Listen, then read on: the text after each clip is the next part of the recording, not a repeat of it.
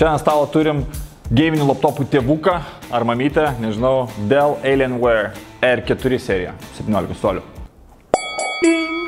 Labas, aš Šarūnas iš unboxing laidos Laisvės televizijos X YouTube kanale ir šiandien mm, ant stalo turim ypatingą produktą. Kodėl sakau ypatingą? Dėl to, kad tai yra a, mano akimis etalonas to, ką daro a, kompanijos dėl žaidėjų, a, kokią turi fantaziją ir kiek kūrybos turi e, įmesti į nešiojamą kompiuterį, kad žaidimai būtų kuo sklandesni, kad e, dizainas būtų kuo išskirtinesnis ir kad mes turėtume kuo geresnį e, experience alike, you know, nieko nelaukiant. Mm, mm. Tai turim beveik 5 kg uh, monstrą. Korpusas, kaip matot, anglies pluoštas, uh, aliuminis, Magnio lydiniai, aliuminio ir magnio lydinys, tai yra vienas iš stipriausių lydinių mm, kompiuterijų naudojimų. Norisi ir pažaisti, norisi ir pasportuoti, šitas daiktas galėtų atstoti su hantelius, lygiai taip pat galėtų atstoti ir štangelį, nes a, svirtis ekraną, vyrai tie visi yra tikrai tvirti ir galima lankstyti ir tikrai pasportuoti.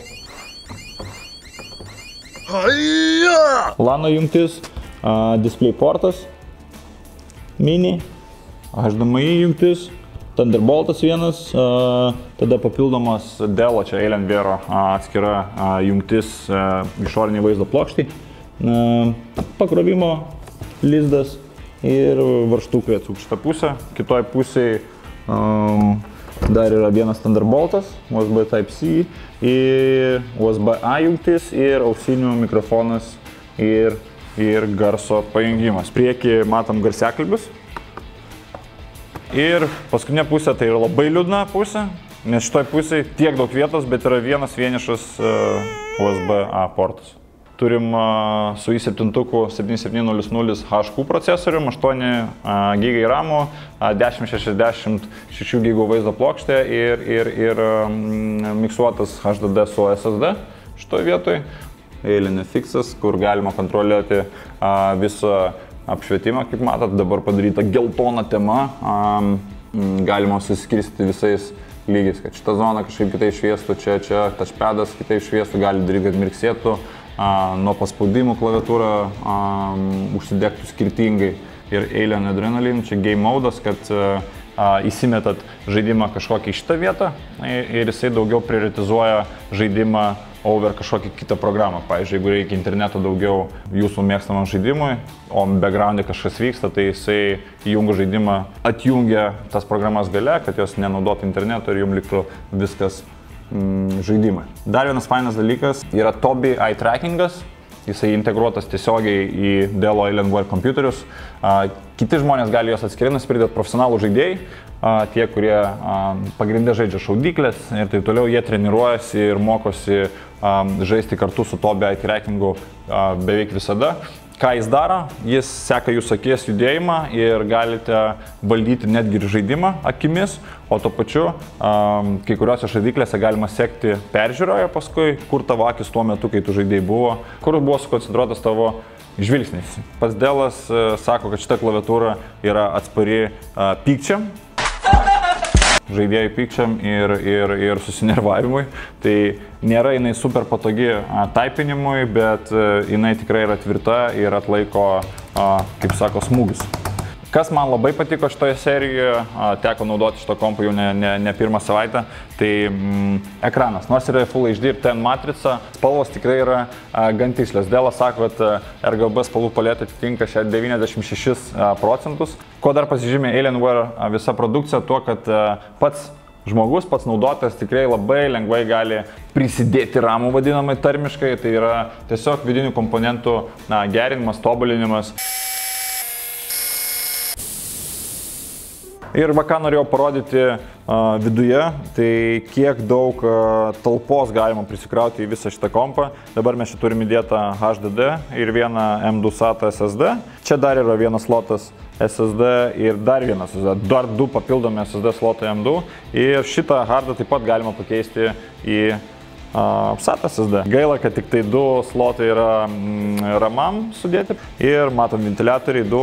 Kai užkrautas kompiuteris labai smarkiai, garsas yra tikrai nemažas, arti 55 dB, bet visą tą karštį reikia kažkaip pašalinti iš a, šio korpuso. Ką dar Alienware padarė šiais metais a, su nauju R5 modeliu, tai pasiskolino keletą a, aušinimo sprendimų a, iš NASOS, naudos korpuso gamyboje gorą tokį medžiagą, a, kuri iš vis nepraleidžia jokios a, mm, jokios šilumos tiesiai vartotojui į rankas, jinai izoliuoja šilumą ir nukreipia ten, kur reikia, tai nukreipia šilumą į ventiliatorius. O dabar norim pažiūrėti, kiek gerai veikia aušinimas Alienware. Tai a, turim dar a, draugelį HP Omeną 17, parametrai visiškai identiški ant popieriaus abiejų kompų.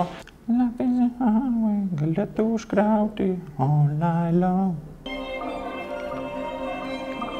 Ką tik prasidėjo testas, temperatūros dabar šiuo metu yra ha, 60, šiam 2. Ir matom, kad uh, ant HP Omino viskas beveik 10 procentų visos dalis yra karštesnis. Šito benchmarko, kuris grinai susijęta su grafika, yra rezultatai. Alienware 105,9 FPS, 2166, HP Omen 99,7, 2512 rezultatas.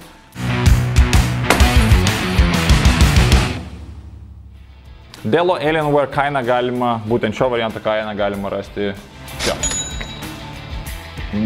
Kaina tikrai labai didelė, kaip nešiojam kompiuteriui ir kaip žaidimė nešiojam kompiuteriui. Ar verta už tokį daiktą mokėti pinigus? Aš manau, kad taip. Čia yra sukrauta visa aukščiausia technologija, netgi skolinta iš NASOS.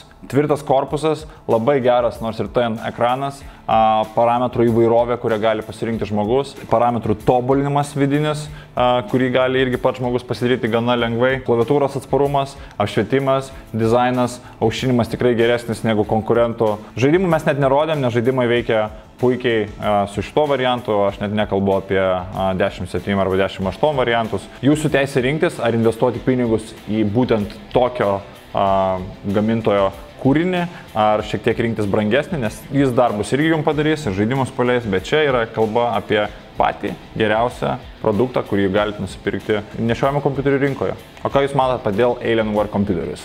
Pasidalinkite nuomonę komentaruose ir tuo pačiu parašykite, ką norėtumėte, kad apžvelgtume ateityje. O, o jeigu norėsite įsigyti vieną iš Dell Alienware kompiuterių, įdėsime linką į to pat centro elektroninę parduotuvę, kur tai galėsite padaryti.